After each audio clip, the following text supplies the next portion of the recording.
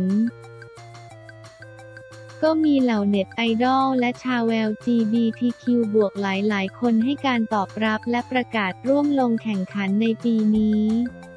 ซึ่งหนึ่งในผู้สมัครที่เปิดตัวออกมาได้อย่างเซอร์ไพรส์ก็คือฟลุค วชิรวิชญ์อดีตนักล่าฝันจากเวทีประกวดร้องเพลงชื่อดัง AF 10 ที่ตอนนี้เปลี่ยนแปลงตัวเองและเผยตัวตนแบบ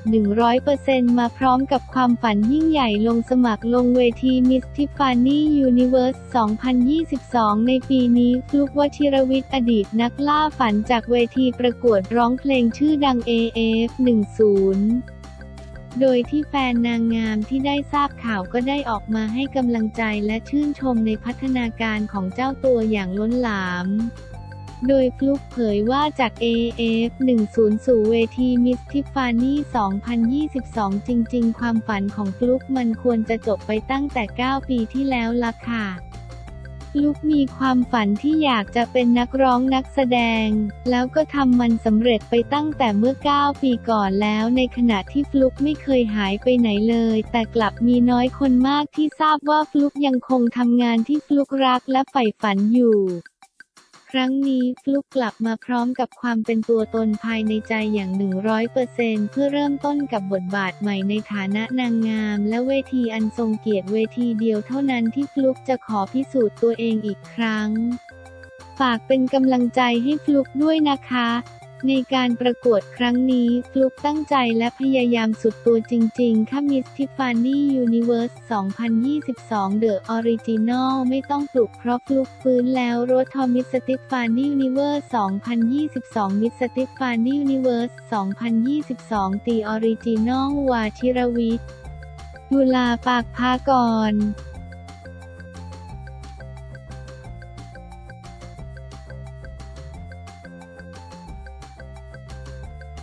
เอ็นโกโลกองเต้ผ่าตัดต้องพัก 4 เดือนหมดสิทธิ์ไปฟุตบอลโลก 2022 แน่นอนแล้วเอ็นโกโลกองเต้หมดสิทธิ์ติดทีมชาติฝรั่งเศสไปแข่งขันฟุตบอลโลก 2022 อย่างแน่นอนแล้วหลังเพิ่งผ่านพ้นการผ่าตัดต้นขาส่วนหลัง และต้องพักยาวถึง 4 เดือน สิงโตน้ำเงินคราม เชลซี แห่งพรีเมียร์ลีก อังกฤษแถลงยืนยันว่า เอ็นโกโลกองเต้กองกลางทีมชาติฝรั่งเศสหมดสิทธิ์ติดธงไปแข่งขันฟุตบอลโลก 2022 อย่างแน่นอนแล้ว หลังผ่านการผ่าตัดต้นขาส่วนหลังเป็นที่เรียบร้อย กองเต้ได้รับบาดเจ็บระหว่างเกมที่เสมอท็อตแนมฮอตสเปอร์ 2-2 เมื่อเดือนสิงหาคม ซึ่งรุนแรงจนถึงขั้นผ่าตัดโดยเชลซีแถลงว่าการผ่าตัดผ่านไปด้วยดี แต่แข้งวัย 31 ปีก็ต้องพักรักษาตัวถึง 4 เดือนเลยทีเดียว ถลงการจากเชลซีระบุว่ากองกลางรายนี้ได้ไปพบผู้เชี่ยวชาญ เพื่อหาหนทางฟื้นฟูอาการบาดเจ็บ และได้ข้อตกลงว่าเขาต้องผ่าตัด ซึ่งภายหลังการผ่าตัดที่ผ่านพ้นไปแล้วเรียบร้อย คาดว่าเอ็นโกโลจะต้องพัก 4 เดือนสำหรับกองเต้ติดทีมชาติฝรั่งเศสไปแล้ว 53 นัดยิงได้ 2 ประตูมีส่วนสำคัญในการพาทีมคว้าแชมป์โลก 2018 รวมถึงรองแชมป์ยูโร 2016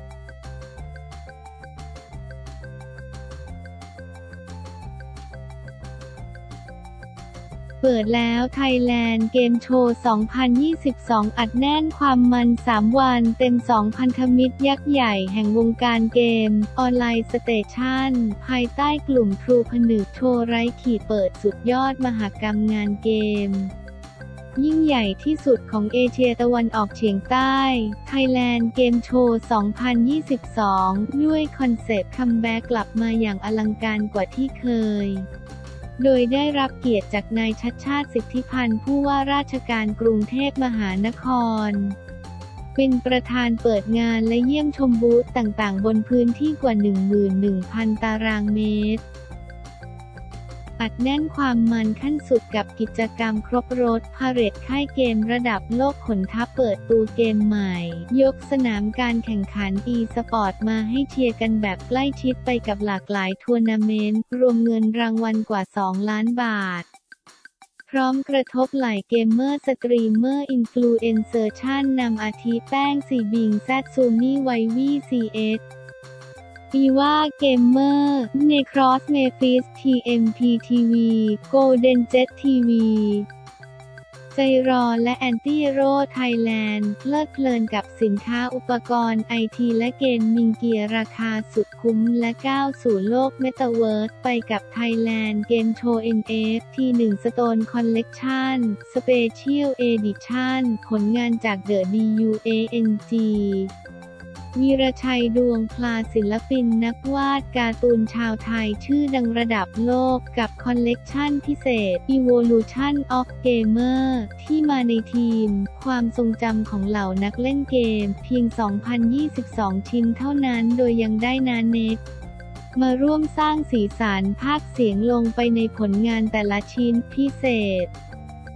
ชาวคอสเพลย์เข้าชมงานฟรีตลอดทั้ง 3 วัน และยังร่วมลุ้นเงินรางวัลรวมกว่า 3 0 0แสนบาทอีกด้วยเต็มอิ่มทุกอรรถรสความสนุกตั้งแต่วันนี้ลบ 23 ตุลาคม 2565 เวลา 10.00 ถึง 21 เที่ยงคืน ณ Exhibition Hall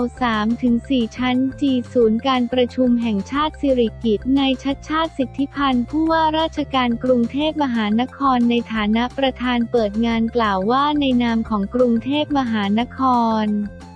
ขอแสดงความยินดีกับการกลับมาจัดมหกรรมงานเกม Thailand Game Show 2022 comeback ซึ่งถือเป็นอีกหนึ่งงานใหญ่แห่งปีของวงการเกมในประเทศไทย เป็นเวทีให้นักพัฒนาของไทยได้แสดงศักยภาพ มีโอกาสในการเติบโตสร้างรายได้ให้แก่เศรษฐกิจดิจิทัลของประเทศกรุงเทพมหานคร รู้สึกภูมิใจที่ได้ให้การสนับสนุนงานครั้งนี้ จนเป็นหนึ่งในกิจกรรม ปฏิทินเมือง เชื่อหน้าชูตาให้กับกรุงเทพมหานคร ในฐานะจุดหมายปลายทางที่คนทั่วโลกต้องการเดินทางมาเยือน และหวังเป็นอย่างยิ่งว่า มหกรรมงานเกม Thailand Game Show ปีนี้จะมอบทั้งความรู้คู่กับประสบการณ์ที่สนุกสนานให้กับผู้ร่วมงานทุกท่าน ยกระดับวงการเกมไทยให้ทัดเทียมมาตรฐานสู่สากล และประสบความสำเร็จอย่างงดงามสร้างความประทับใจให้กับเกมเมอร์ทั้งชาวไทย และต่างประเทศได้เป็นอย่างดี ดร ต่อบุญพ่วงมหากรรมการผู้จัดการกลุ่มธุรกิจ Online Station บริษัท True Digital Group จำกัดกล่าวว่า Online Station ผู้นำธุรกิจสื่อดิจิตอลด้านเกม และเครือข่ายอินฟลูเอนเซอร์อันดับหนึ่งภายใต้กลุ่ม True ร่วมกับบริษัทโชว์ไร้ขีดจำกัดพร้อมเดินหน้าจัดงาน Thailand Game Show งานเกมที่ยิ่งใหญ่ที่สุดในเอเชียตะวันออกเฉียงใต้ ด้วยคอนเซปต์ comeback เนรมิตงานให้อลังการสมกับที่ทุกคนรอคอย ซึ่งในครั้งนี้ยังคงได้รับการตอบรับเป็นอย่างดีทั้งจากสื่อเกมเอเจนซี่และค่ายเกมชื่อดังทั้งจากไทยและเทศอาทิ SEGA Bandai Namco Entertainment Asia Level Infinite Riot Games HoYoverse เทโรซอฟกิลฟี่และอีกมากมายที่พร้อมใจมาเปิดตัวเกมใหม่อย่างคับคั่ง รวมถึงพาเหรดบรรดาเกมเมอร์สตรีมเมอร์อินฟลูเอนเซอร์ชื่อดังภายใต้สังกัด Online Station มาให้พบปะพูดคุยกันอย่างใกล้ชิด และพิเศษยิ่งขึ้นกับการแข่งขัน e-sport หลากหลายทัวร์นาเมนต์ตั้งแต่ระดับประเทศจนถึงระดับนานาชาติ รวมเงินรางวัลมูลค่ากว่า 2 ล้านบาท ซึ่งมั่นใจว่างานครั้งนี้จะดึงดูดเหล่าเกมเมอร์ และคาดการณ์ว่าจะมีผู้เข้าร่วมงานกว่า 200,000 คน และมีเงินสะพัดสูงถึง 300 ล้านบาทอันจะเป็นส่วนหนึ่งในการขับ เคลื่อนอุตสาหกรรมเกมไทยให้เป็นศูนย์กลางธุรกิจเกมในเอเชียตะวันออกเฉียงใต้ อีกทั้งร่วมผลักดันอาชีพวงการเกมในบ้านเรา ให้เป็นที่ยอมรับในระดับสากลต่อไป นายพงสุขีรัญญพฤกษ์ประธานเจ้าหน้าที่บริหารบริษัทโชไรขีดจำกัดกล่าวว่าเมื่อโลกเสมือนเป็นส่วนหนึ่งของชีวิตในยุคใหม่ มีงาน Thailand Game Show 2022 จึงไม่พลาดกับการเปิดตัว Thailand Game Show NFT 1 Stone Collection Special Edition ครั้งแรกของการร่วมงานกันระหว่างงานเกมสุดยิ่งใหญ่ Thailand Game Show และ The DUANG วีรชัยดวงพลาศิลปินนักวาดการ์ตูนชาวไทยที่ดังไกลระดับโลกในคอลเลกชัน Evolution of Gamer ผลงานล่าสุดของ The DUANG ในโปรเจกต์ Thailand Game Show NFT 1 Stone Collection Special Edition มาในทีม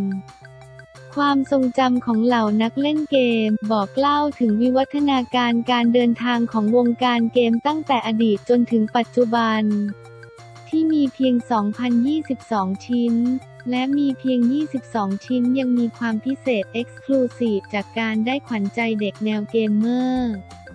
และผู้คนหลากหลายวัยอย่างน้าเนกเกต เสพสวัสด์มาร่วมเติมความพิเศษขั้นสุดลงไปในงานนี้ ด้วยการใส่คาแรคเตอร์และเสียงของตัวเองลงไปในผลงาน แต่ละชิ้นทั้ง 22 ชิ้นด้วย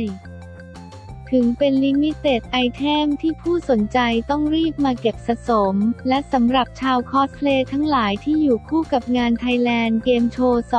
2022 มาอย่างต่อเนื่องปีนี้ก็เช่นกันถึงเวลารวมพลกันที่งาน เพราะยังเปิดให้ผู้ที่แต่ง คอสเพลย์เข้าชมงานได้ฟรี ได้ตลอดงานทั้ง 3 วัน และร่วมลุ้นรอบ final โดยมีเงินรางวัลรวมกว่า 3 0 0แสนบาทบรรยากาศภายในงานเต็มไปด้วยความคึกคักของเหล่าคอเกม ตามบูธของค่ายเกมชั้นนำต่างๆ ที่เข้าร่วมงานนี้อย่างคับคั่ง ขนทัพเกมใหม่มาเปิดตัวและให้ได้ทดลองเล่นก่อนใคร อาทิค่ายยักษ์ใหญ่จากญี่ปุ่นเซกากับครั้งแรกใน Thailand Game Show ที่เปิดให้ทุกคนได้ลองเล่น Sonic Frontiers ที่กำลังจะวางจำหน่ายเร็วๆนี้ก่อนใคร รวมไปถึง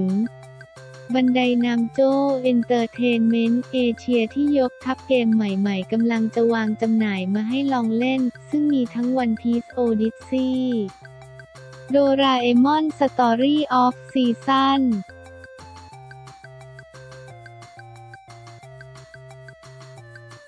Friends of the Great Kingdom Dragon Ball The BREAKERS เป็นต้น Thailand Game Show 2022 comeback พร้อมระเบิดความมันตลอด 3 วันเต็มตั้งแต่วันศุกร์ที่ 21 วันอาทิตย์ที่วันที่ 23 ตุลาคมนี้ณศูนย์การประชุมแห่งชาติสิริกิติ์ Exhibition Hall 3-4 ชั้น G ตั้งแต่เวลา 10.00 ถึง 20 เที่ยงคืน บัตรราคา 150 บาท สามารถเข้างานได้ 1 วันและราคา 500 บาทรับเพิ่มเสื้อทีเชิ้ต Thailand Game Show 2022 พิเศษรับฟรีสเปรย์แอลกอฮอล์สำหรับผู้เข้างานทุกท่าน ติดตามรายละเอียดได้ที่